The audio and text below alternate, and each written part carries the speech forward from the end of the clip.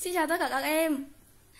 Các bạn ơi, hiện tại chị đang có mặt ở đây rồi. Chào mừng các bạn đến với khóa học miễn phí Dành cho những bạn 2K7 đang muốn ôn thi môn văn nhé ừ, Xin chào các bạn, chị là Hải Quỳnh Và chị sẽ đồng hành cùng với các bạn ở trong khóa học này. Rồi muộn của các bạn một ít phút bởi vì là chị bị khóa hết tất cả các nick rồi. Mãi mới tìm được một chiếc nick để phát được trực tiếp cùng với các em. Các bạn đã dậy chưa nhở?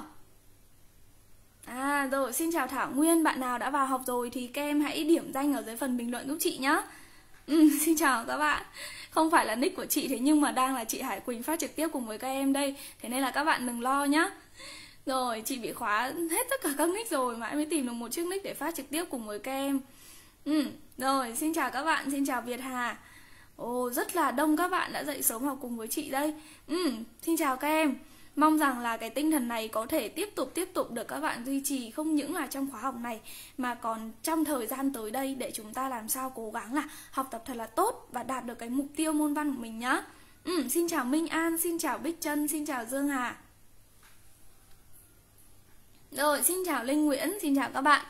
Các em thân mến, thôi được rồi, hôm nay thì chị vào muộn mất của các bạn một ít phút thế nên là chúng ta sẽ vào vấn đề luôn nhé uhm, với tên của khóa học đó là khóa học cấp tốc khóa học miễn phí. Và nội dung tập trung của chúng ta như chị đã thông báo đấy là chúng ta sẽ tập trung về kiến thức nền của các tác phẩm.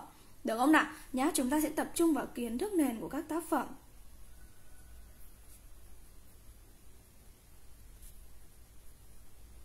Rồi, vậy thì cụ thể chúng ta sẽ học nội dung gì ở trong khóa học này? Đúng không ạ? Chúng ta sẽ học cái nội dung gì ở trong khóa học này? Có lẽ đó là cái điều mà các em thắc mắc. Vậy thì trong buổi đầu tiên, chị sẽ nêu ra một số những cái nội dung chính để các bạn nắm bắt để chúng ta có thể là tiếp tục đồng hành này, xác định mục tiêu của mình khi tham gia khóa học này nhé. Ở đây với kiến thức nền của các văn bản thì xuyên suốt từ đầu năm đến giờ chúng ta học rất rất là nhiều các văn bản Đúng không ạ? Mà khóa học này thì chỉ có vỏn vẹn là 4 buổi học thôi Thì chúng ta làm như thế nào? Chị đặt một cái mục tiêu đấy là làm sao giúp cho các bạn chúng ta học xong trong khóa học chúng ta vừa được ôn tập lại kiến thức các văn bản mà chúng ta vừa có cái kỹ năng để phân tích thơ và phân tích văn xuôi. Thế nên là chúng ta sẽ học cả hai cái dạng tác phẩm đó. Đúng không nào? Nhá đầu tiên là thơ. Ừ, đối với các tác phẩm thơ Đấy thì chị trọng tâm vào chương trình kỳ 2 nhá. Chúng ta sẽ học hôm nay thì chúng mình sẽ học nói với con này. Ok không? Rồi, sau đó, sau đó chúng ta sẽ học thêm hai bài thơ nữa. Đó chính là bài thơ Mùa xuân nho nhỏ.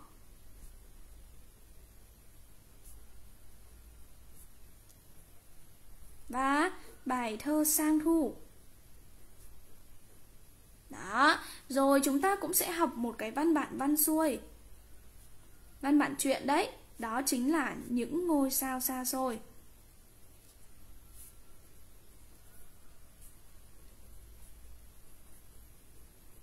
Rồi, đây chính là nội dung của chúng mình ở trong khóa học này các bạn nhé Nội dung cụ thể Thì hôm nay chúng ta sẽ đến với buổi 1 này Đó chính là văn bản nói với con Các bạn sẵn sàng chưa nhở? Uhm, rồi, xin chào Ồ, gần 50 bạn vào học cùng với chị rồi này Ok, xin chào các em Ừ, đây là những bạn mà chúng ta có lẽ là đã đặt báo thức và dậy rất là đúng giờ. Cảm ơn các bạn rất là nhiều. Rồi, chị muộn chị vào muộn mất của các bạn một ít phút. Đó. Ok, thế thì các bạn hãy cố gắng nhé Chúng ta sẽ cùng với nhau đồng hành xuyên suốt cả 4 buổi học này để đạt mục tiêu làm sao không những là ôn lại kiến thức của các văn bản mà chúng ta rèn luyện luôn cả cái cách viết này. Ừ, có thêm cho mình những cái dẫn chứng hay để liên hệ mở rộng chẳng hạn. Ừ, ok chưa? Rồi bây giờ chúng mình sẽ đến với văn bản đầu tiên nhé đó chính là văn bản nói với con.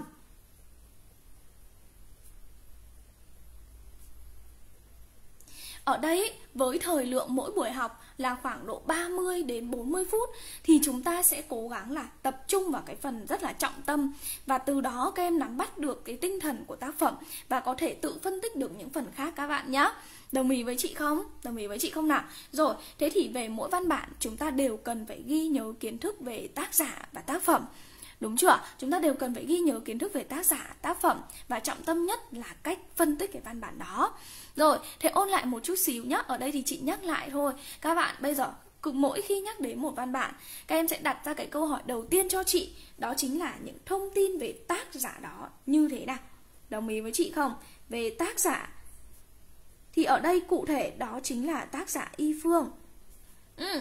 Thế nếu như đặt ra cái câu hỏi tác giả Y Phương có những thông tin như thế nào nó vẫn còn chung chung quá và các bạn vẫn cứ như bơi trong kiến thức không biết làm thế nào để gợi mở cái trí nhớ của mình đúng không? Thế bây giờ tiếp tục đặt ra những câu hỏi nhỏ hơn nhá. Thế thì tác giả Y Phương có những nét gì về cuộc đời này? Được chưa? Đấy, rồi có những nét gì về sự nghiệp sáng tác này? Ok, rồi, thế thì nếu như đặt như thế vẫn còn mông lung lại tiếp tục đặt ra câu hỏi nhỏ hơn về cuộc đời thì chúng ta à thì chúng ta sẽ ghi nhớ là làm sao nhỉ? À, có những cái thông tin về ngày tháng năm sinh nếu có này, đúng không ạ? Năm sinh năm mất nếu có này, rồi quê quán, rồi tên thật này. Đấy, quê quán này. Đúng không? Rồi tên thật nếu có này. À, chúng ta thấy nhà thơ Y Phương Tên thật là Hứa Vĩnh sước Quê ở Trùng Khánh, Cao Bằng Và đặc biệt ông là người dân tộc Tày. Điều đó là chúng ta phải ghi nhớ Đúng không ạ? Nhá Rồi về sự nghiệp. Nếu như cái hai cái chữ sự nghiệp này lại khiến cho các em vẫn chưa thể nào nhớ được lại tiếp tục chia nhỏ hơn. À sự nghiệp thì có những ý gì? Có đề tài sáng tác này. Đúng không? Có gì nữa à có phong cách sáng tác này. Đấy đấy là hai cái ý chính. Đúng không nào? Nhá. Rồi nếu như mà chúng ta ghi nhớ thêm một cách khái quát thì chúng ta ghi nhớ về cái thời kỳ mà tác giả à bắt đầu sáng tác này, trưởng thành trong thời kỳ nào. Ok chưa ạ? Đó. Rồi, đấy, thế thì về nhà thơ Y Phương, chúng ta thấy là ông là người dân tộc Tày và ông luôn luôn gắn cái tác phẩm của mình với những nội dung về đời sống của đồng bào dân tộc. Đúng không ạ? Nhá, và đặc biệt phong cách thơ của Y Phương là một chất thơ rất là giàu hình ảnh này. Đấy, rất là mạnh mẽ, chất thơ vô cùng độc đáo, trong sáng. Và đặc biệt thể hiện rất rõ tư duy của con người miền núi. Nhớ cho chị những từ khóa mạnh mẽ, trong sáng. Thể hiện cách tư duy của con người miền núi. Được không ạ? Nhá, ok chưa? Thế thì chúng ta thấy là với những cái đặc điểm đó Thơ Y Phương được mệnh danh như là một cái bức tranh thổ cẩm đan dệt nhiều màu sắc. Uhm, đó. Vậy thì chúng ta ghi nhớ những cái kiến thức đấy để làm gì ạ? Ôi các bạn ơi áp dụng những cái kiến thức đó vào rất nhiều những vị trí trong bài viết của mình. Nếu như bạn nào phải viết mở bài, thân bài, kết bài nhá Thì phần mở bài các em có thể đi trực tiếp từ thông tin về tác giả luôn. Các em vẫn nghĩ là những cái thông tin từ tác giả như thế Sẽ khiến mở bài của chúng mình là mở bài trực tiếp không được hay sao? Không đâu. Thế thì để chị đọc cho các bạn nghe một cái phần mở bài đi trực tiếp về tác giả nhá. Các em xem xem là mở bài đó nó có hấp dẫn hay không đây, chúng ta có thể viết như thế này. À, chúng ta thấy là có một cái nhận định rất là hay về thơ của Y Phương. Đấy là thơ của Y Phương là một cái bức tranh thổ cẩm đan dệt nhiều màu sắc. Đúng không? Thế chúng ta đi từ chính cái hình ảnh đó nhá. Như một bức tranh thổ cẩm đan dệt nhiều màu sắc. Thơ Y Phương vừa đậm đà bản sắc dân tộc Vừa đem đến những triết lý sâu xa đó là những ấn tượng của bạn đọc về hồn thơ y phương, hồn thơ của một người con dân tộc Tày rất mực tài hoa và luôn chân thật trong từng con chữ sáng tác. Tất cả những vẻ đẹp ấy ta đều có thể tìm thấy trong bài thơ nói với con, một bài thơ tiêu biểu của y phương. Bài thơ là mượn lời người cha nói với con để gửi gắm nhiều điều về tình cảm gia đình và tình yêu quê hương, truyền thống dân tộc. Thấy không ạ? Hình dung ra chưa? Chúng ta đi từ tác giả nắm bắt được những cái thông tin này thì các bạn sẽ chẳng bao giờ sợ là phần mở bài của mình bí không biết viết ra sao. Chúng ta luôn luôn có một cái cách đơn giản là đi từ những thông tin về tác giả. Đúng không ạ? Nhưng cái khéo ở đây là gì? Chúng ta sẽ không liệt kê ra tất cả những cái thông tin ấy, mà chúng ta chỉ chọn lọc những cái thông tin đặc sắc và đặt nó lên trên đầu dùng cấu trúc câu đảo đúng không ạ bình thường thì chúng ta viết là nhà thơ y phương có một chất thơ được mệnh danh là một bức tranh thổ cẩm đan dệt nhiều màu sắc và rất đậm đà bản sắc dân tộc. Đấy là cách diễn đạt thông thường của chúng ta, đúng không? Nhưng bây giờ chúng ta đảo cái vế, vị ngữ. Cái vế mà thơ của y phương được mệnh danh là bức tranh thổ cẩm đan dệt nhiều màu sắc ấy. Các em đảo lên trước cho chị. Thế là bắt đầu từ một cái ấn tượng như vậy. Bài làm của chúng ta cứ như thế, tuôn trào thôi. Đúng không ạ? Như một bức tranh thổ cẩm đan dệt nhiều màu sắc. Thơ y phương vừa đậm đà bản sắc dân tộc vừa đem đến những triết lý sâu xa. Đó là những ấn tượng của bạn đọc về hồn thơ y phương, hồn thơ của một người con dân tộc Tày rất mực tài hoa và luôn chân thật trong từng con chữ sáng tác. Hình dung ra không ạ? Đó, đấy là gợi ý của chị nhé. Rồi, ghi nhớ về tác giả như vậy. Thế còn về tác phẩm thì chúng ta ghi nhớ những thông tin gì? Nào, về tác phẩm. Thì trước tiên nhá, tác phẩm nào cũng như vậy thôi, kể cả thơ hay là văn xuôi, các bạn ghi nhớ cho chị về hoàn cảnh sáng tác. Ok chưa ạ? Nhá, ghi nhớ cho chị về hoàn cảnh sáng tác. Và trong hoàn cảnh này này thì sẽ có ba ý nhỏ. Thứ nhất là cái thời điểm đấy, đúng không nào? Năm sáng tác là gì? Ừ, rồi là gì? Hoàn cảnh chung và hoàn cảnh riêng. Đấy, các bạn cứ gọi nhanh như thế giúp cho chị nhá để chúng ta nhớ. Đó, bởi vì sao? Ở đây năm sáng tác thì bài thơ nói với con được ra đời vào năm 1980. Thời điểm đó thì bối cảnh đất nước như thế nào? Lúc bấy giờ thì đất nước ta đã chấm dứt chiến tranh rồi. Đúng không ạ? Kể cả là chiến tranh kháng chiến chống Mỹ hay là hay là chiến tranh biên giới, đúng không? Lúc bấy giờ là đất nước ta đã chấm dứt chiến tranh. Thế nhưng thế nhưng trong cái công cuộc bước vào đời sống mới thì nền kinh tế nước ta lúc bấy giờ ấy, theo như nhà thơ Y Phương gọi, đó là một người mang trọng bệnh. Đúng không ạ? Nền kinh tế nước ta lúc bấy giờ như là người mang trọng bệnh ấy cái đói nghèo nó phủ lên từng con phố từng bản làng từng gương mặt và chính cái đói nghèo đó đã khiến cho không ít con người họ ruồng bỏ quê hương họ ruồng bỏ cái truyền thống văn hóa của mình để mà chạy theo đồng tiền để mà lầm lỡ để mà rơi vào những cái à những cái tính cách nó xấu xa đi đúng không ạ trộm cắp này lừa dối này Đúng không ạ? Đó, và trước cái bối cảnh đó thì nhà thơ Y Phương viết bài thơ nói với con để dặn dò người con của mình hay cũng chính là tự dặn mình và là lời nhắn nhủ với tất cả chúng ta. Hãy giữ lấy cái tâm trong sáng mà làm người Hãy dựa vào cái cốt cách văn hóa truyền thống quê hương nó chảy trong con người mình này này Đấy, để mà chiến thắng vượt qua khó khăn Hình dung ra không ạ? Bản thân chị thì vẫn luôn luôn ấn tượng với một cái lời chia sẻ Nó giống như là một cái tuyên ngôn trong cách sống của nhà thơ Y Phương ấy Hãy giữ lấy cái tâm trong sáng mà làm người Đúng không ạ? Nhá, và có lẽ cái quan điểm đó ấy, nó được truyền tải trong tất cả các cái tác phẩm của Y Phương và bài thơ nói với con cũng như vậy. Ghi nhớ cho chị điều đó nhé. Còn về hoàn cảnh riêng thì lúc bấy giờ là nhà thơ cùng với cả gia đình của mình đúng không ạ? Nhớ đó cùng với cả gia đình của mình được chứng kiến và trải nghiệm cái cảm nhận cái đời sống lúc bấy giờ và đặc biệt là à đứa con gái nhỏ của nhà thơ lúc bấy giờ cũng vừa tròn một tuổi. Ừ, thế nên là nhà thơ có cái nguồn cảm hứng để tâm sự với con này và truyền tải vào trong đó những bài học ý nghĩa sâu sắc nhưng lại với một cái hình thức rất là bình dị và mang đậm cái bản sắc văn hóa dân tộc ok chưa ạ đấy là về hoàn cảnh sáng tác nhá Thêm một ý nữa đi các bạn ghi nhớ cùng với chị khi mà các em đã thuộc thơ rồi thì chắc chắn là nhớ về thể thơ đúng không? Nhưng mà thêm một cái nữa để các em hình dung ra được nội dung chính của tác phẩm Đấy chính là mạch cảm xúc Đúng không ạ? Bài thơ đi từ những lời dặn dò của người cha với con về cái gì? À, về cái gì đấy nhở? À, về cội nguồn sinh dưỡng Đấy là điều đầu tiên Cội nguồn sinh dưỡng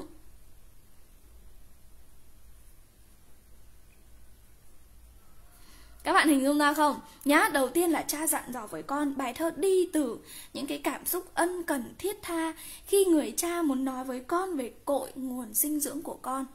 Sau đó, đúng không ạ? Trong mạch cảm xúc ấy, à người cha còn muốn dặn dò con về những phẩm chất tốt đẹp của người đồng mình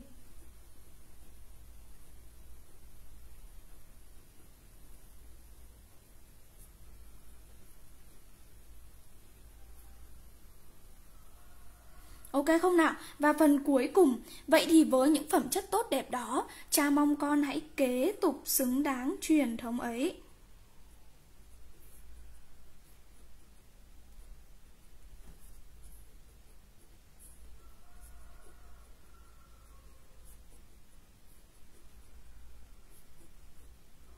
Đó, ok chưa ạ? Cha mong con hãy kế tục xứng đáng truyền thống của quê hương để vững bước trên đường đời. Thật ra thì sẽ có rất nhiều bạn chúng ta sẽ được gộp hai cái phần này vào làm một. Thì ở đây chị tách ra thì nó cũng vẫn nội dung như thế thôi, đúng không ạ? Nhá, bình thường thì chúng ta học là gì? Là phần thứ hai là người cha nói với con về những phẩm chất tốt đẹp của người đồng mình và cha mong con hãy kế tục xứng đáng truyền thống ấy. Thì nó vẫn là hai cái nội dung đó, gộp chung vào một phần thôi. Thì ở đây chị chia ra thành ba phần nhỏ như thế này. Vậy trong khuôn khổ của buổi học ngày hôm nay thì các bạn chọn ra giúp chị nhé. Trong 3 phần này thì các bạn muốn ôn tập về phần nào đây? Ừ, trong 3 phần này thì các bạn muốn ôn tập về phần nào đây nhỉ? Nào bây giờ chị dành chị trao cái quyền lựa chọn này cho các bạn luôn nhá. Ok chưa ạ? Ừ, đồng ý với chị không? Nào cố gắng là tăng cả bạn bè của mình vào học nhá Các bạn lớp mình đi đâu hết rồi mà buổi đầu tiên này Đây mới là những cái chiến binh thực sự là chúng ta nghiêm túc tham gia cùng với chị đó, bởi vì hôm qua đăng bài lên, chị thấy cũng có rất là nhiều bạn điểm danh đấy. Và số lượng những bạn ở trong khóa học của chúng ta thì rất là đông. Tuy nhiên là chỉ có chỉ có những bạn này thì chúng mình mới bắt đầu dậy sớm để học cùng với chị, đúng không? Ừ thế thì các em hãy mau chóng nhá. Thứ nhất là chúng ta cáp màn hình lại, giúp chị chụp màn hình lại. Đấy, phải chụp màn hình cái lúc mà các em đang tham gia và nó có hiện cái số lượng người xem ấy. Đồng ý với chị không? Nhá, đấy, để làm cái bằng chứng là chúng ta đã tham gia trong cái khóa học này Tham gia từng buổi một, buổi nào các em cũng sẽ chụp màn hình lại để điểm danh giúp cho chị nhá Đồng ý không nào? Để làm gì? Để nhận quà chứ còn làm gì nữa Ok chưa? Đấy, và những cái buổi học này thì chị sẽ không giữ lại đâu Thế nên chị rất là mong là các bạn chúng ta hãy nghiêm túc tham gia. Chứ nếu như mà chúng mình chỉ tham gia để đó thôi, xong rồi là không không không không tham gia trực tiếp vào những cái buổi học này này, thì sẽ không có tác dụng gì cả đâu. Chị không giữ lại những cái phần phát trực tiếp này. Nên là rất mong các em hãy tiếp tục đồng hành trong tiếp tục những buổi sau nữa nhá. Rồi các bạn ơi, thế thì chúng mình muốn là ôn tập về phần nào đây nhở? Ừ, bởi vì là có rất nhiều bạn chúng ta còn phải đi học nữa. Đó và với thời lượng một buổi học nho nhỏ như thế này thôi thì chị sẽ ôn tập một trong ba cái phần này cùng với các em nhé chị gọi đây là phần 1 này. Đó chị gọi đây là phần 2 này. Và chị gọi đây là phần 3 này. Ok chưa? Thế các em đang muốn ôn tập về phần nào đây? Ừ, các em bình luận cho chị biết nhé các bạn bình luận cho chị biết ok không nào? Hình dung ra chưa ạ? Nào các bạn ơi, chúng mình bình luận cho chị biết nào, là bây giờ các em muốn ôn tập về phần nào đây nhỉ?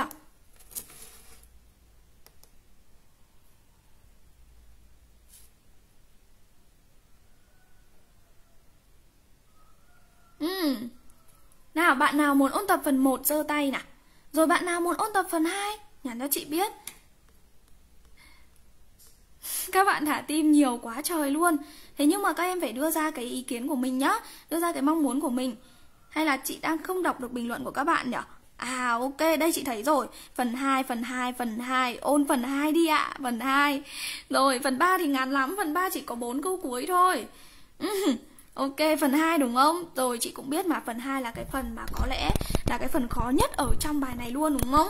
Ừ, có rất là nhiều bạn sợ hãi cái phần 2 này Rồi ok, chị ôn cùng với các bạn phần 2 nhá Nào, về bài thơ nói với con chúng ta tập trung ở đây ừ, Trong buổi hôm nay, đặt quyết tâm với chị là nắm bắt được, hiểu được nội dung của phần 2 này Và tuyệt vời hơn nữa là nhớ được luôn, tự viết được luôn nhá. Rồi, phần thứ hai đó chính là cha nói với con về những phẩm chất tốt đẹp của người đồng mình.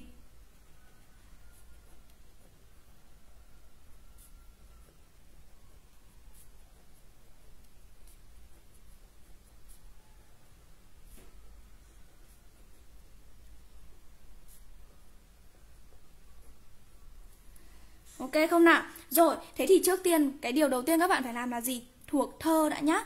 Ừ, người đồng mình thương lắm con ơi Nào dành ra 5 phút viết lại toàn bộ phần 2 này giúp cho chị nhá Nào viết cùng với chị luôn Các bạn viết cùng với chị luôn Không đợi chị mà hãy cùng viết lại với chị luôn Nào, người đồng mình thương lắm con ơi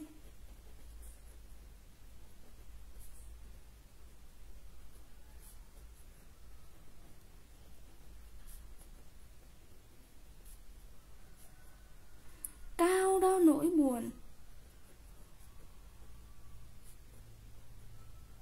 Xa nuôi trí lớn.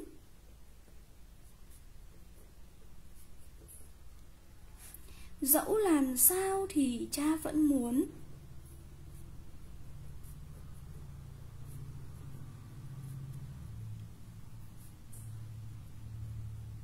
Sống trên đá, không che đá gập ghềnh.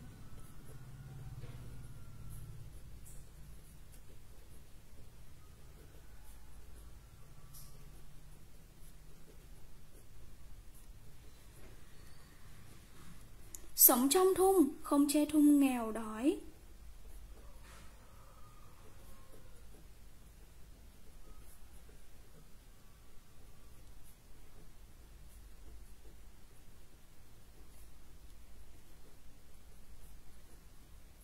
Sống như sông như suối, lên thác xuống gành, không lo cực nhọc.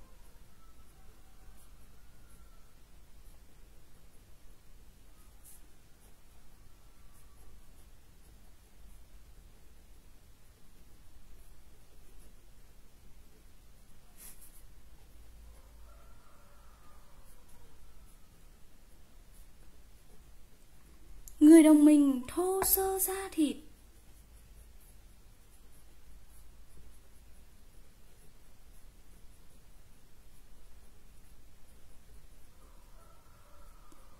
Chẳng mấy ai nhỏ bé đâu con.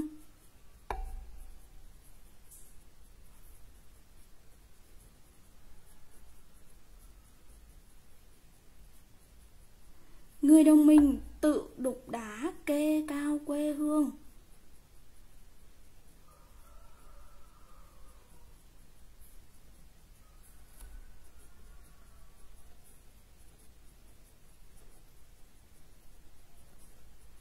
còn quê hương thì làm phong tục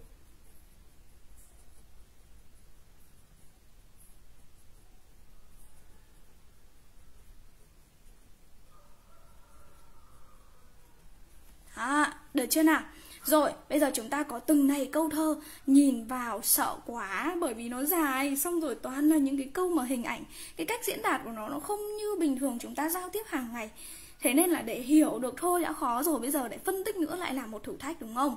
Ừ, thế thì trước tiên nhá Các bạn xóa bỏ cho chị cái tư tưởng như thế đã đó đúng không ạ? Nếu như chúng ta cứ giữ một cái cái cái cái cái tư tưởng và tự quy này tự tự cái ép buộc bản thân mình là phải sợ cái đoạn thơ này. Đấy thì chúng ta không thể nào nhập tâm và viết ra được những cái phần phân tích nó thật là hay và thật là sâu sắc được đúng không ạ? Trước tiên xóa bỏ nỗi sợ. Cảm thấy là đây là những cái vần thơ nó tuôn trào trong cái mạch cảm xúc của một người cha tâm sự với con thôi. Ừ, và việc của chúng ta bây giờ cũng giống như người con ấy đó làm sao để khai thác làm sao để hiểu được tấm lòng của người cha? Đấy đơn giản như vậy thôi nhá. Rồi thế thì với một cái tâm thức như thế à với một cái tâm thế như thế rồi bắt đầu tự tin hơn rồi thì bây giờ nhìn vào đây cùng với chị này. Khi mà các em phân tích thơ nhá bí kíp bước đầu tiên cố gắng làm sao nắm bắt được bố cục phân tích thơ.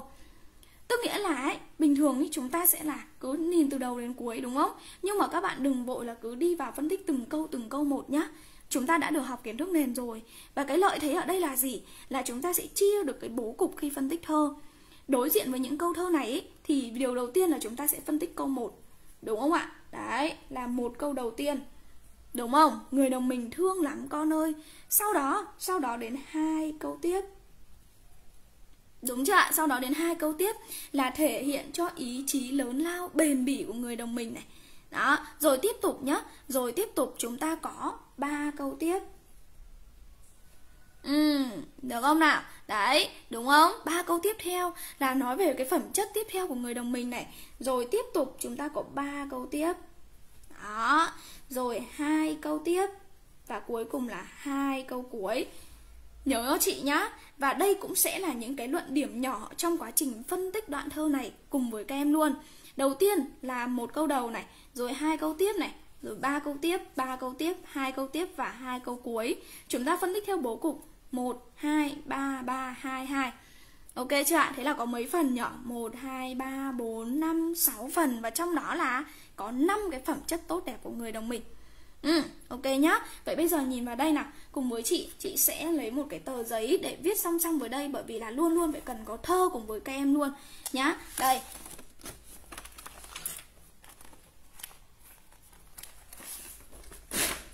Rồi, ok. Nào, nhìn vào đây nào. Các bạn có thể là lấy một cái trang giấy hoặc lấy một cái tờ giấy làm sao mà cứ một bên có thơ và một bên là phần ghi chép của chúng ta giúp cho chị nhá. Ok không ạ? Đấy, để làm gì? Để chúng ta không bao giờ xa rời thơ cả.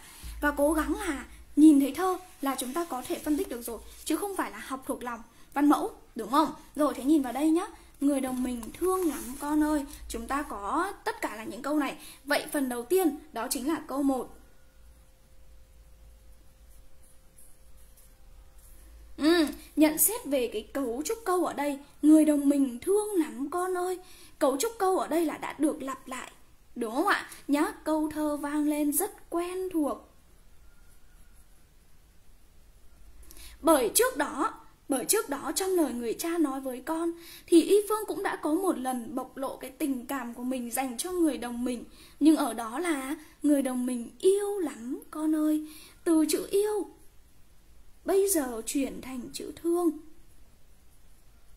Đó, nếu như yêu là gì ạ? À, là yêu mến. Là trân trọng thì thương ở đây chính là thương cảm là thấu hiểu và chính bởi một cái sắc thái như thế thế nên chữ thương này khiến cho giọng điệu như thế nào ạ? À như trùng xuống như xúc động hơn. Ừ, vậy chúng ta đặt ra câu hỏi tại sao lại thương? À bởi vì là cha thương cảm Cha thấu hiểu được cho những cái nỗi vất vả Cực nhọc của người đồng mình. Ok chưa ạ? Nhá, rồi thêm nữa này, thêm nữa các bạn ơi. Nếu như trước đó chúng ta không có phân tích phần nào cả Tức nghĩa đề bài chỉ chọn ra cho chúng mình một đoạn này để chúng mình phân tích thôi nhá Thì các bạn phải nêu được cho chị cả về người đồng mình nữa.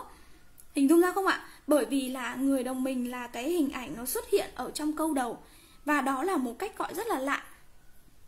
Là một cách gọi vừa lạ vừa quen Nên chúng ta cần phải nêu cho chị nữa cả về người đồng mình nữa nhé Bình thường học kiến thức nền ấy thì ở đây chúng ta không nêu bởi vì trước đó chúng ta đã phân tích rồi.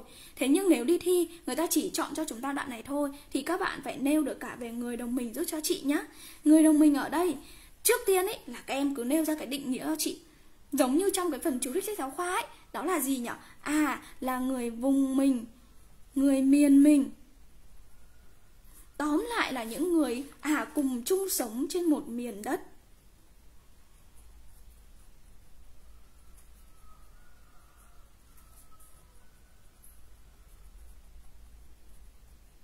Hay gọi cách khác thì ta sẽ gọi đây là những con người quê hương.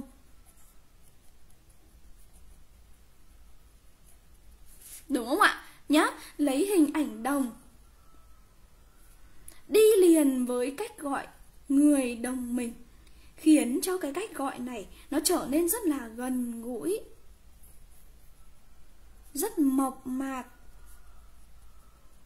Rất thân thương. Đúng không các em? Nhá, nó rất gần gũi, rất mộc mạc, rất thân thương Và khiến cho lời thơ như lời bộc bạch.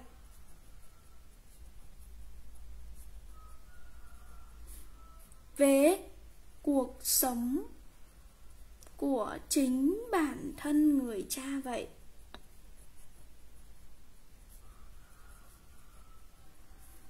Người đồng minh mà.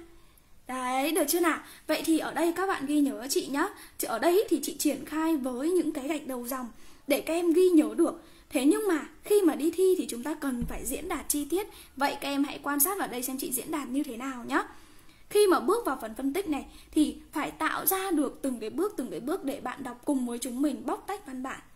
Câu thơ đầu tiên vang lên với tất cả niềm thương mến, đúng không ạ? Trân trọng và thấu hiểu của người cha dành cho những con người quê hương.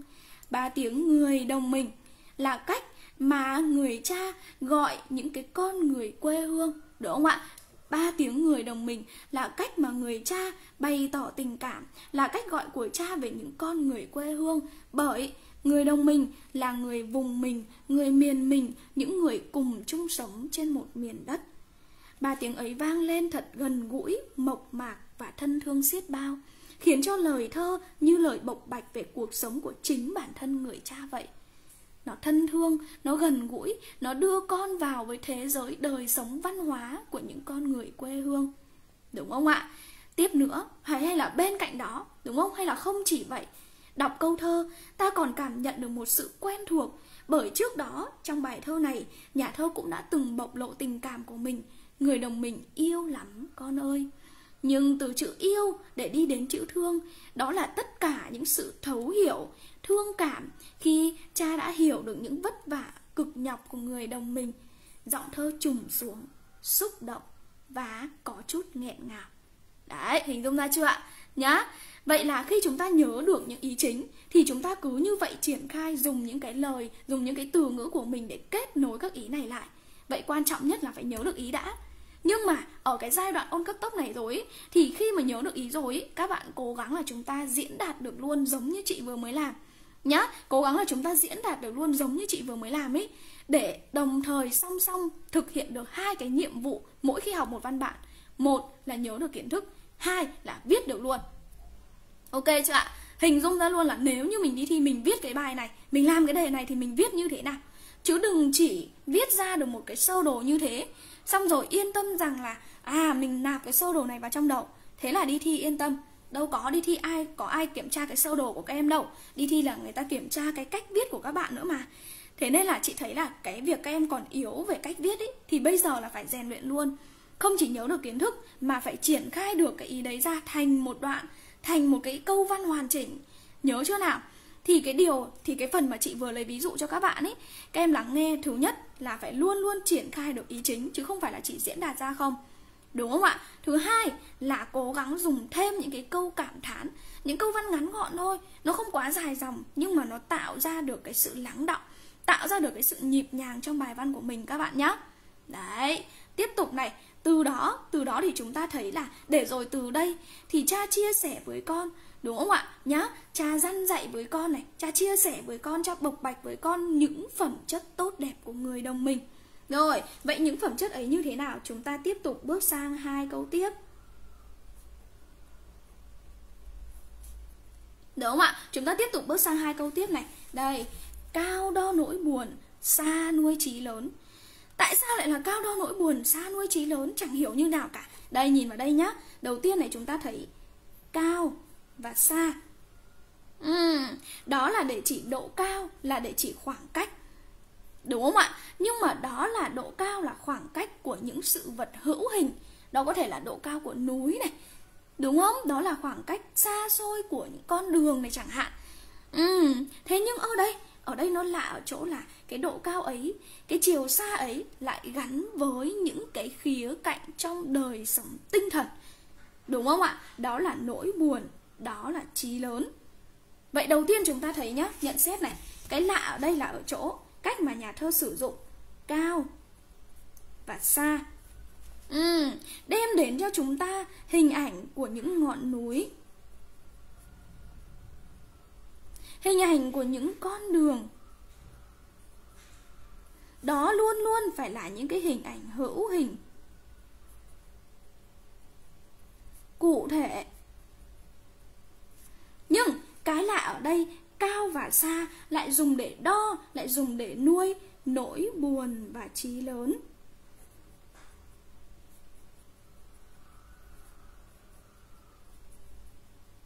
Đó là những cái khái niệm về mặt tinh thần. Đúng không ạ? Là những cái cảm xúc, là cái tinh thần ở bên trong con người ấy, và tất nhiên rồi. Đó là những cái khái niệm của sự vô hình và trừu tượng nó rất là trừu tượng, nó không có hình thù cụ thể. Ok chưa ạ? Đấy đấy, thế đầu tiên là chúng ta thấy đây là một cái cách diễn đạt nó rất là lạ. Nó giàu hình ảnh hơn. Và nó mang đậm cái bản chất tư duy của con người miền núi.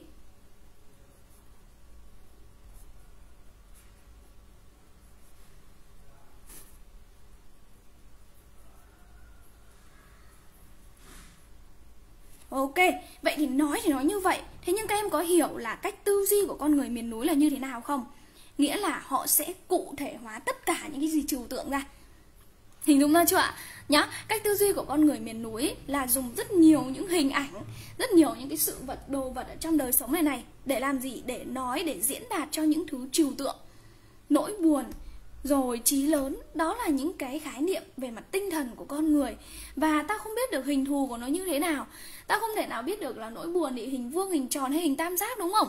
Ta cũng không thể biết được trí lớn thì nó cao hay là nó thấp, nó xa hay là nó ngắn, đúng không ạ? Đấy, thế nhưng ở đây với cách tư duy của con người miền núi, cụ thể hóa tất cả những cái khái niệm trừu tượng, thì chúng ta thấy là như nhìn thấy cả một nỗi buồn lớn lao, như thì nhìn thấy cả cái ý chí bền bỉ với hình thù cụ thể thông qua cách diễn đạt này vậy Ok chưa ạ? Nên điều đầu tiên là chúng ta thấy được cái cách tư duy của con người miền núi đem đến một cách diễn đạt rất lạ, rất ấn tượng, rất độc đáo cho câu thơ này. Đấy là điều đầu tiên. Điều thứ hai, à khai thác về mặt nghệ thuật thấy được như thế đúng không? Vậy bây giờ khai thác về mặt nội dung nào. À, cao đo nỗi buồn nghĩa là sao? Cao đo nỗi buồn. Nghĩa là gì đây nhỉ? Các bạn thử triển khai cho chị nào. Cái câu thơ này thì giúp cho các em hiểu được điều gì? Cao đo nỗi buồn nghĩa là sao? Đó, các bạn tương tác cùng với chị nào để chị nắm bắt xem là việc mà các em đang nắm bắt kiến thức nền của văn bản này như thế nào các em đã học văn bản này hay chưa có hiểu được những cái nội dung cơ bản hay không hay là chúng ta hoàn toàn mơ hồ về nó theo các em cao đo nỗi buồn nghĩa là sao nhỉ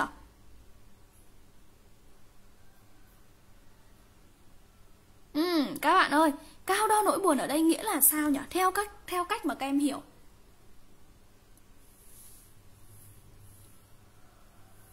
Ừ, nào, các bạn thử nêu ra cái cách hiểu của mình cho chị biết nào. Ok không ạ?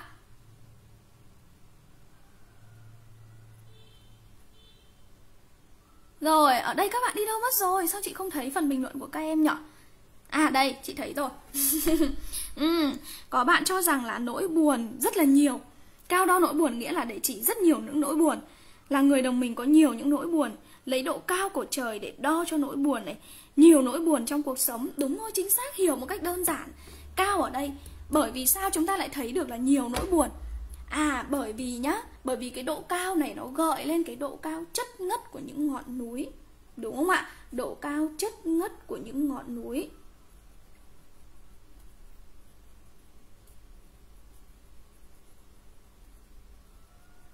nó lớn hơn rất nhiều. Nó lớn hơn rất nhiều, đúng không ạ? Nhá, nó lớn hơn rất nhiều so với tầm vóc của con người.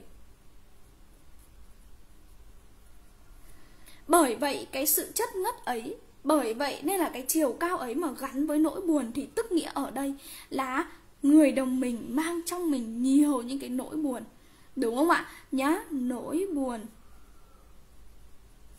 Chất ngất như núi.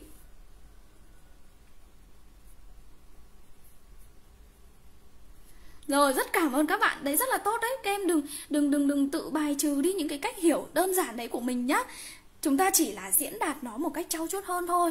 Còn về bản chất là các em đã hiểu được rồi đấy, Rất là tốt luôn. Thế thì nỗi buồn chân ngân như núi, Nhưng nếu như diễn đạt như thế Thì sẽ rất dễ nghiêng về cái việc là nỗi buồn này là những cái kiểu như là nỗi buồn thất tình à?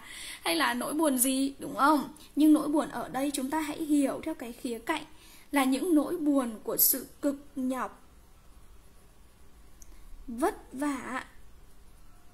Khó khăn trong đời sống các bạn nhé Ok chưa ạ? Và chị thấy có một bạn diễn đạt rất là hay đấy Là lấy độ cao của trời để đo những cái nỗi buồn trong cuộc sống. Ý để chỉ những nỗi buồn chất ngất như núi Là những nỗi cực nhọc, vất vả, khó khăn vẫn còn đang bùa vây và bao trùm lên cuộc sống của người đồng mình. Ok nhá. Rồi, thế nhưng, thế nhưng như một sự đối lập đó đúng không ạ? Thì xa nuôi trí lớn.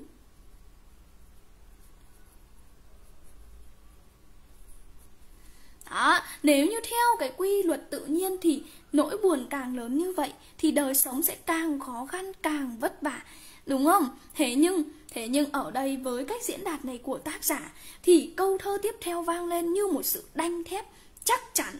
Ừ, đúng không ạ? Như một sự đanh thép chắc chắn và đầy lạc quan khẳng định rằng chính cái nỗi buồn này này đó chính cái môi trường với nỗi buồn chất ngất với những sự cực nhọc vất vả khó khăn lại là điều kiện để tôi rèn ý chí của con người. Đúng không ạ? Lại tiếp tục phân tích nhá. Xa ở đây xa ở đây là để chỉ cái khoảng cách nó rất là xa xôi. Rộng lớn Thế nhưng xa ở đây nó còn gợi cho chúng ta cái ánh mắt đứng từ trên cao. Để trông ra mọi phía.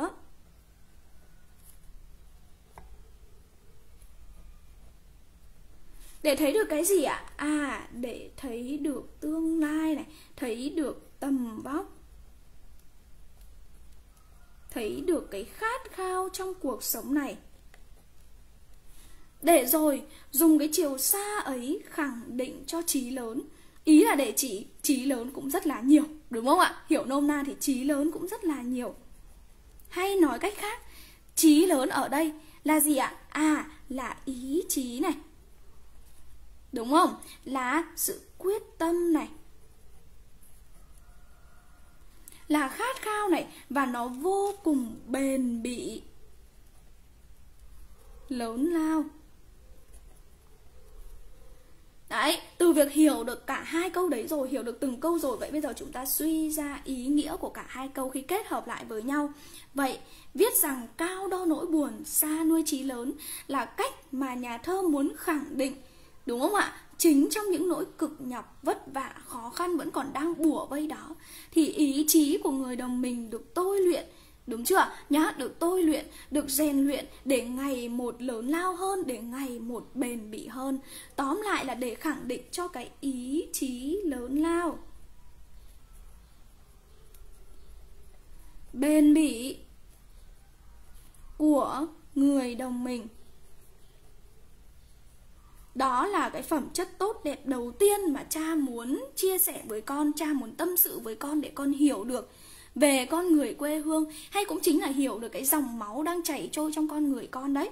Đúng không? Và thêm nữa nhá thêm nữa chúng ta hãy để ý đến những từ ngữ đo này và nuôi này đặc biệt là cái chữ nuôi này nhá. Đó từ nuôi. Để khẳng định rằng ừ, để khẳng định rằng điều kiện khó khăn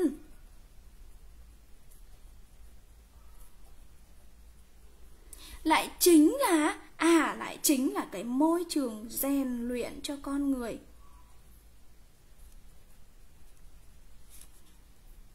Càng trong gian khó thì con người lại càng được bền bỉ, lớn lao hơn về mặt ý chí.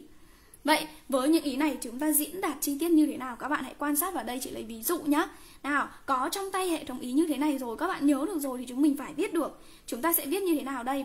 Chúng ta có thể triển khai theo cách là diễn dịch hoặc là tổng phân hợp, hoặc là quy nạp trong từng cái ý này. Đầu tiên chị chọn cách diễn dịch. Diễn dịch nghĩa là sao? Là chị khẳng định nội dung chính của hai câu đấy đã. Sau rồi chị mới đi vào phân tích chi tiết. Còn cái cách quy nạp là chúng ta cứ phân tích từng ý một đã. Sau đó chúng ta mới kết lại như thế này. Đấy, còn cách tổng phân hợp là chúng ta đầu tiên nêu ra nội dung chính của hai câu này. Xong rồi phân tích chi tiết, xong rồi lại khẳng định lại cái nội dung ấy. Ok nhá. Thế ở đây là chị chọn cách diễn dịch đầu tiên này. Đó là gì? À hai câu thơ tiếp theo. Nhà thơ, à người cha muốn nói với con về phẩm chất tốt đẹp của người đồng mình. Trong, à về mặt ý chí lớn lao và bền bỉ. Hay nói cách khác, diễn đạt cách khác thì chúng ta có thể biết là gì ạ? Hai câu thơ tiếp theo, cha muốn nói với con về, à về ý chí lớn lao, bền bỉ của người đồng mình. Hai chấm trích thơ, cao đo nỗi buồn, xa nuôi trí lớn. Đúng không ạ? Một sự lạ lẫm và độc đáo để lại ấn tượng trong lòng bạn đọc. Bởi cách mà nhà thơ sử dụng à cách mà nhà thơ sử dụng từ cao, từ xa, vốn gắn liền với những sự vật hữu hình cụ thể, lại để diễn đạt cho nỗi buồn và trí lớn là hai khái niệm về mặt tinh thần rất trừu tượng. Đó chính là cách mà y phương vận dụng, cách nói hình ảnh giàu sự tư duy của con người miền núi để đưa vào trong những vần thơ của mình. Xong ý đầu tiên nhá. Đúng không ạ? Xong ý đầu tiên. Và cách diễn đạt đó đã giúp cho bạn đọc thấy được đúng không ạ? Hoặc là hình dung được một cách rõ ràng, cụ thể về điều mà nhà thơ muốn nói. Bởi độ cao ở đây gắn liền với hình ảnh của những ngọn núi cao chất ngất. Nó, à, nó lớn hơn rất nhiều với tầm vóc nhỏ bé của con người. Chiều cao ấy là để gắn với nỗi buồn, là để nói thay cho những nỗi cực nhọc, vất vả, khó khăn vẫn còn đang chất ngất trong đời sống, vẫn còn đang bùa vây trong cuộc sống của con người quê hương. Thế nhưng chính trong điều kiện đó, con người quê hương được rèn luyện về ý chí, về lòng quyết tâm, về sự bền bỉ, nên xa nuôi trí lớn. Hình dung ra chưa ạ? Nên xa nuôi trí lớn. Xa là để chỉ khoảng cách xa xôi rộng lớn Nhưng nó cũng gắn với ánh mắt nhìn khi con người ta đứng từ trên cao để trông ra mọi phía Để thấy được tầm vóc, thấy được khát khao lớn lao trong đời sống này xa nuôi trí lớn chính là để khẳng định ý chí quyết tâm sự bền bỉ lớn lao trong cuộc sống của con người quê hương. Ừ, chữ nuôi vang lên đúng không ạ? Chữ nuôi được nhà thơ sử dụng rất độc đáo rất phù hợp để thấy rằng càng đặt trong gian khó con người lại càng được tôi rèn về ý chí. Đúng không ạ? Đúng không ạ? Và từ đó hai câu thơ không những thể hiện được ý chí lớn lao bền bỉ của người đồng mình mà còn là một cách khẳng định rất đanh thép chắc chắn và đầy lạc quan về tinh thần của con người quê hương. Xong. Được không ạ? Các bạn hình dung ra không? Chị diễn đạt đến đâu chị chỉ đến đấy đấy các bạn hình dung ra không nào? Ừ, đó. Và đấy cũng là cái cách mà chị sẽ hướng dẫn các em. Khi mà các bạn tham gia vào trong cái khóa học chạy văn bởi vì chị thấy là ấy Trong tất cả những khóa học từ trước đến nay mà chị đồng hành cùng với các bạn 2K7 Thì nó tùy vào trong từng cái giai đoạn mà các em bắt đầu học nhé Nếu như khóa kiến thức nền bắt đầu từ đầu năm Chúng ta có rất nhiều những thời gian Và được rèn luyện với rất nhiều những bài tập Thì sẽ tập trung để làm sao chúng ta ghi nhớ được kiến thức. Đúng không? Nhưng mà đặt trong cái hoàn cảnh của khóa chạy văn là cái khóa học cuối cùng rồi. Và cái mà các em cần ý, đấy là cách diễn đạt được câu chứ không phải chỉ những cái gạch đầu dòng này. Thế nên là bên cạnh những ý chính như thế này Chị tổng hợp lại cùng với các bạn Thì khi mà học trong cái khóa chạy văn ấy Trong cái tài liệu của khóa học Sẽ có phần diễn đạt chi tiết. Đấy, viết đến ý nào thì chúng mình biết là cái ý đó Nó sẽ được viết cụ thể thành câu, thành chữ ra sao Và kết nối với nhau thành một đoạn, thành một bài như thế nào. Thì chị nghĩ đấy mới là cái phần quan trọng dành cho các em đúng không? Nhá vậy nên là với cái mục tiêu mỗi buổi học xong là nhớ được kiến thức và diễn đạt được hoàn chỉnh luôn thì chị nghĩ rằng đó là một cái khóa học, nó đáp ứng được cái mục tiêu là toàn diện cho các bạn Ok chưa ạ? Thế nên rằng là với những bạn chúng ta theo dõi ở trong khóa học này, Bạn nào mà chưa tìm hiểu về khóa học chạy văn Thì hãy nhanh tay nắm bắt những cái thông tin về khóa học này nhé. Bởi vì có một cái thông tin rất là quan trọng như thế này Đấy là khi mà các em đăng ký trong tháng 3 này, chỉ còn một ít ngày nữa thôi là chúng mình được áp dụng cái chương trình ưu đãi giảm rất là lớn về mặt học phí đấy nếu như mà bước sang tháng tư thôi là chúng ta sẽ không được áp dụng cái chương trình ưu đãi đấy nữa.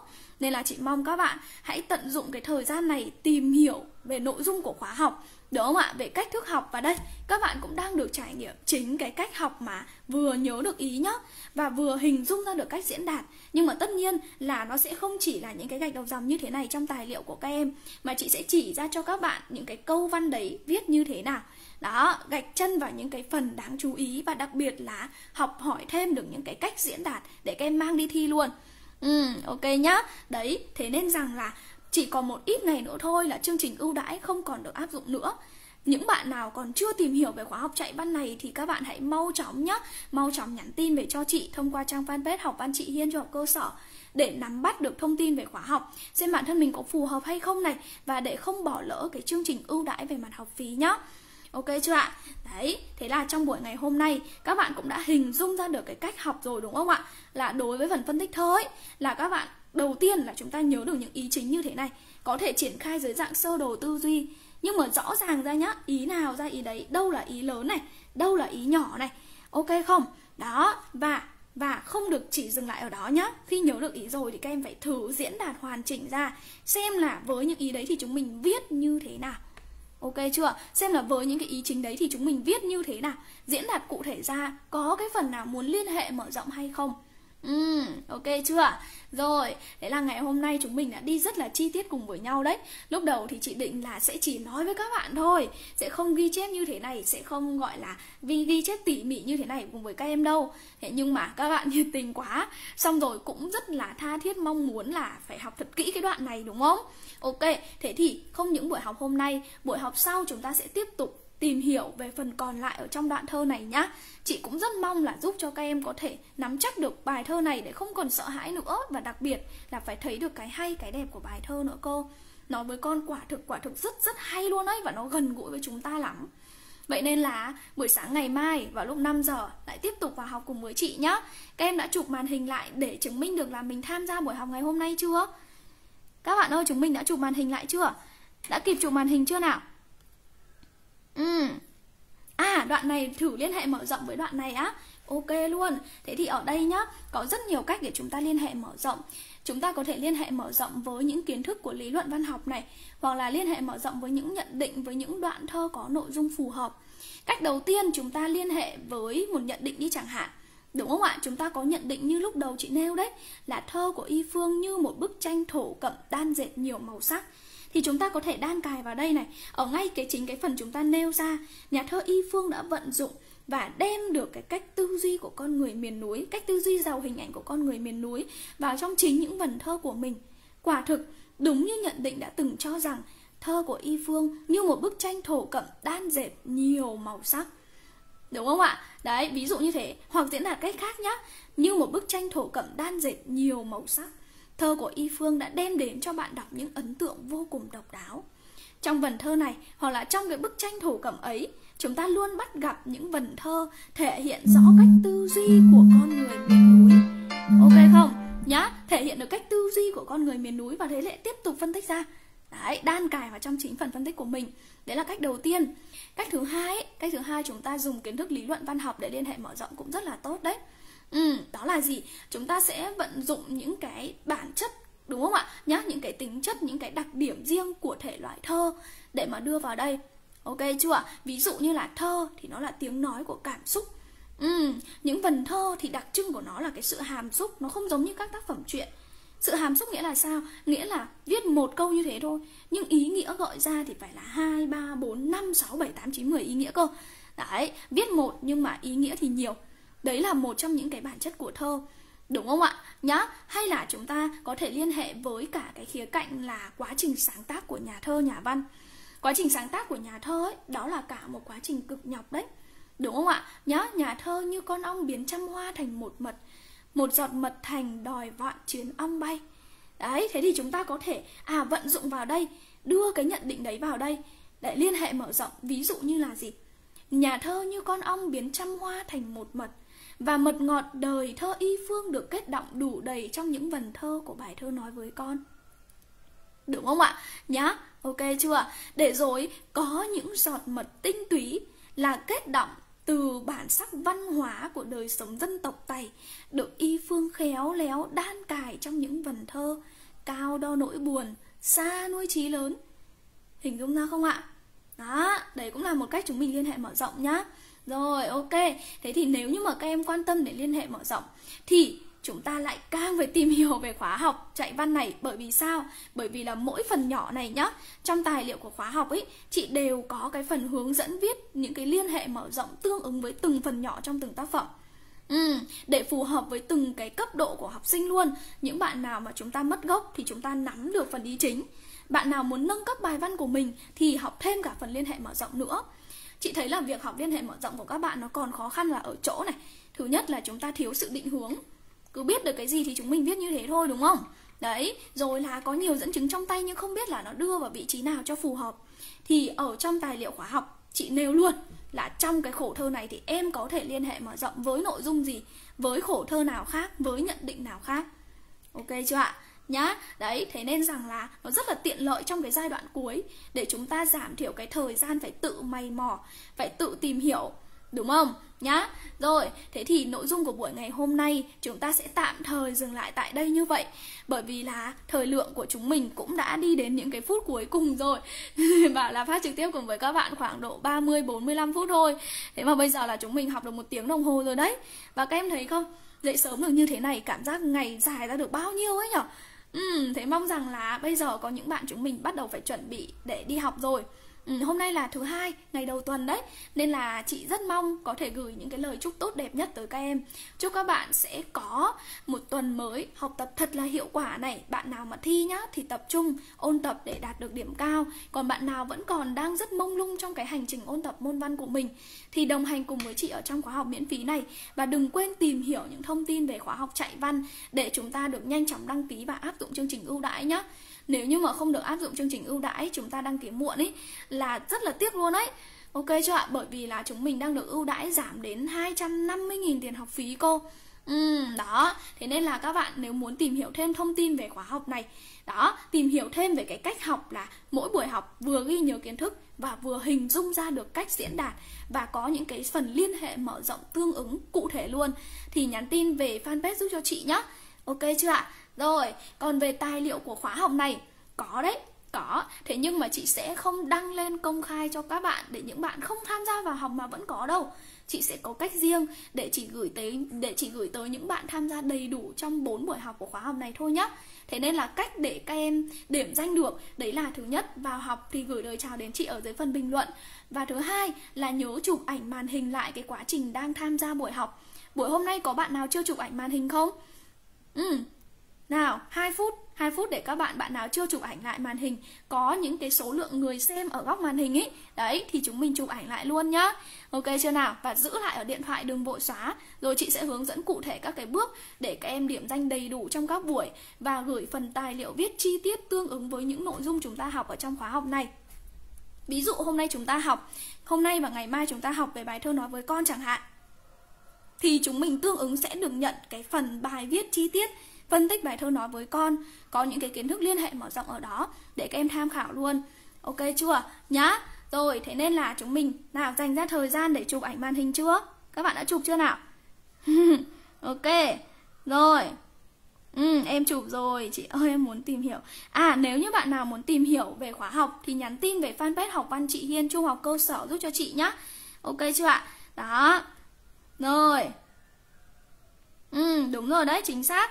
Nếu như bạn nào muốn tìm hiểu về khóa học thì các em nhắn tin về fanpage học văn chị Hiên Trung học cơ sở lớp 6, 7, 8, 9 giúp cho chị. Các bạn chỉ cần gõ phần tìm kiếm đấy là sẽ hiện lên fanpage của văn chị Hiên đấy. Rồi, ok chưa nào? Ừ, nếu như mà chúng mình đã chụp ảnh màn hình rồi và nắm bắt được nội dung của buổi học ngày hôm nay rồi thì bây giờ chị sẽ tạm thời kết thúc buổi học ngày hôm nay tại đây nhá. Và chị sẽ không giữ lại được cái phần video này đâu. Thế nên là các em cho chị biết một số những cái cảm nhận của các bạn về buổi hôm nay được không? Các bạn có hiểu được nội dung được không nào? Hay là chúng mình có thêm được những cái kiến thức mới chưa? Có hình dung ra được nội dung của hai câu thơ này không? Nhá, ngày mai chúng mình lại tiếp tục tìm hiểu những câu thơ tiếp theo với cái cách làm tương tự như thế này. Nhưng mà có lẽ là chị phải đẩy nhanh tốc độ hơn thôi để ôn tập được thêm nhiều cùng với các bạn trong 4 buổi học đấy. Ok chưa? Rồi. Ừ. Các bạn ơi, chúng mình có có hiểu nội dung của buổi học ngày hôm nay không nào? Rồi cảm ơn Như. Bạn nào mà phải chuẩn bị đi học thì chúng mình mau chóng chuẩn bị nhá. Ăn sáng đầy đủ. Đấy nhớ là ăn sáng đầy đủ để có được một cái tinh thần thật là thật là thoải mái này Thật là khỏe mạnh thì mới có thể học được. Chứ đừng bỏ ăn sáng nhá. Bạn nào mà đi học xa thì bây giờ là chúng mình phải chuẩn bị đi học đi Không thì lại muộn học mất. Rồi, ok. Nhớ là ngày mai lại tiếp tục dậy sớm cùng với chị và tang bạn bè của mình vào học nữa nhé. Cảm ơn các bạn rất nhiều vì đã đồng hành cùng với chị trong buổi học ngày hôm nay. À, Có một chút cái trục trặc về kỹ thuật lúc đầu Thế nhưng may quá là vẫn có thể khắc phục được. Nếu như mà ngày mai mà các bạn thấy chị vào muộn một ít phút Thì đồng nghĩa với việc là chị lại bị khóa nick đấy. Nên là chị sẽ cố gắng vào sớm hơn để nếu như có vấn đề gì thì khắc phục được luôn. Nhưng mà nếu như mà ở các em thấy là chị chưa phát đúng vào lúc 5 giờ Thì chỉ có duy nhất một lý do thôi Đấy là chị bị khóa nick. Là chị phải đi tìm kiếm những cái chiếc nick khác để phát trực tiếp cùng với các bạn. Ok chưa ạ? Rồi, bây giờ thì tạm biệt các em và hẹn gặp lại các bạn ở trong những buổi học sau. Đừng quên để lại những cái phản hồi của chúng mình về buổi học này và về những cái mong muốn trong những buổi học sau nữa nhé. Rồi, tạm biệt các bạn. Bye bye.